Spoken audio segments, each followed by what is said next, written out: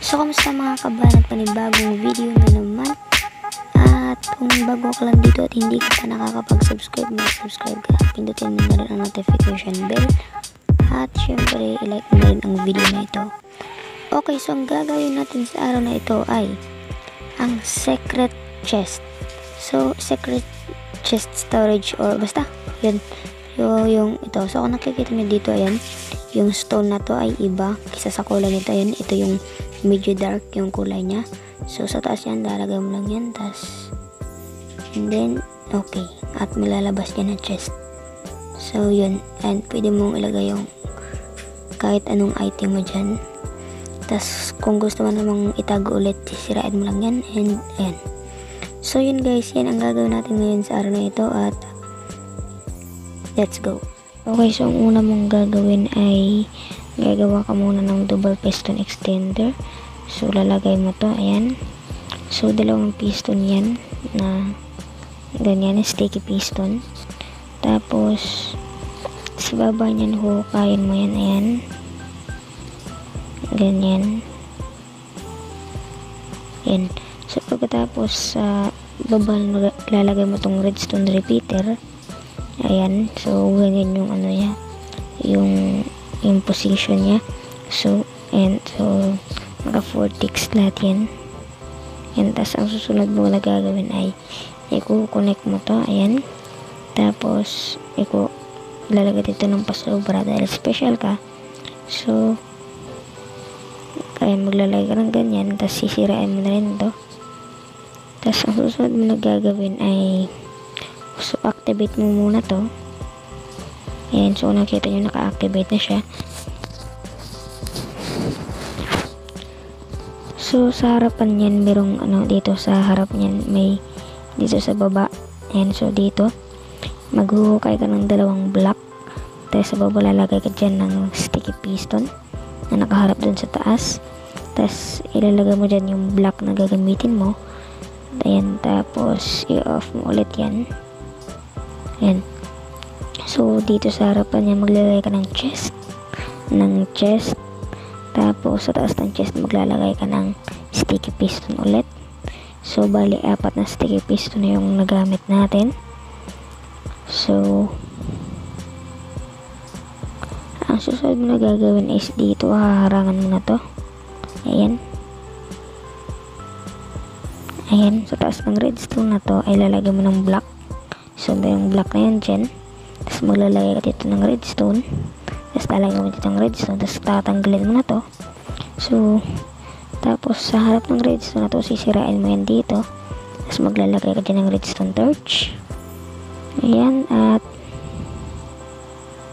pagkatapos at dito sa gilid ng sticky piston na to, sa taas ng chest, merong sticky piston at sa gilid ng sticky piston yung maglalagay dyan ng block na ganyan. Tapos dito so yung parang ganyan siya pahagdan. So lalagyan dyan ng redstone torch. Ayan. Napaganyan. Tapos sa harap ng tapos sa harap ng redstone torch na to maglalagay ka ng redstone repeater. Ayan. Tapos, maglalagay naman dito ng redstone torch. Ah, ng redstone lang pala. Tapos, sisirain mo ulit yan. Yan, tapos, dito sisirain mo to. So, gagawa ka ng parang hagdan ulit. Pero pababa. Tapos, lalagay ka dito ng redstone. Redstone. Tapos, i-connect mo yan. So, yung mangyayari, iaangat neto yung, ano, so, ganyan mangyayari. So, susunod mo na gagawin, tatabungan mo na yan, yan i-close mo yan dyan i-close mo na yan ganyan tapos ito ilagay lagyan mo na rin ng ano ng block. Ganyan. So doon ba yung chest? So guys kung hindi nyo makuha kung hindi nyo masyadong magets ulit ulitin nyo lang yung video na to. So ganyan lang naman siya. Tapos ang susunod mo na gagawin ay sisirain mo to. Ayan, so, sa, sa katabi ng, sa katabi ng ano na to, ng, ng sticky piston na to, ayan, so katabi ng block na yan dito, maglalagay dyan ng lever, so pag enough mo yan, Ayan, so ilalabas niya yung chest. So pag sinira mo, ipapasok niya yung chest. So ang gagawin mo, i-close mo lang yan. Ayan. So ang gagawin mo, i... Sandali lang. Ayan. So close mo na yan. So ang gagawin mo, maglalagay ka lang ng lever dyan, tapos i-on mo. Ayan, at ilalabas niya yung chest. So, ipasok mo na dyan lahat ng mga gamit na gusto mong ipasok. Pwede ka maglagay ng diamond. Ganun. So, para mas madali mong matandaan kung saan mo ilalagay yung lever, ang gagawin mo, kukuha na ka ng slab. Ng slab na andesite, syempre. Yung kukunin mo na slab is yung kap kapareho ng ng block na ginamit mo dito. So, kunwari, gumamit ako ng andesite. So, yung gagawin mo, kukuha ka rin ng uh, ng slab na andesite. tas dito, ayan. So, sa baba ng lever na to, sa baba niyan, maglalagay ka ng slab. Ayan. Tapos, ayan. Tapos, yung ibang ano, gagawin mo siyang full black. Ayan. And so yung yung yung katabi ng slab na to gagawin mo ng full black. Ayan. Okay so kung nakikita nyo yung black na to so sisirain mo muna yan. Ayan so kung nakikita nyo yung black na to ay mas dark siya kaysa, sa, kaysa dito na katulad din nito ayan yung stone kung nakikita nyo mas dark to kaysa sa iba niyang katabi.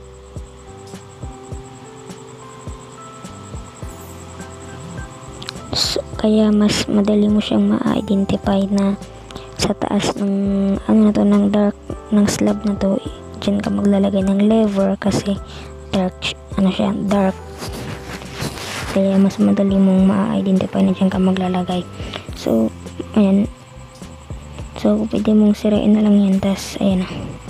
So, ikaw na yung bahala sa block na gagamitin mo. So, yun lang, so guys, yun lang naman sa araw na ito. At maraming salamat sa iyong panonood. At kung hindi ka pa nakakapag-subscribe, mag-subscribe ka na at i-like na rin ang video na ito. So, kung hindi mo masyadong magets ulit-ulitin mo lang yung video na to at I hope na nagustuhan mo yung video na to guys. So, yun lang. See you sa next video. Bye.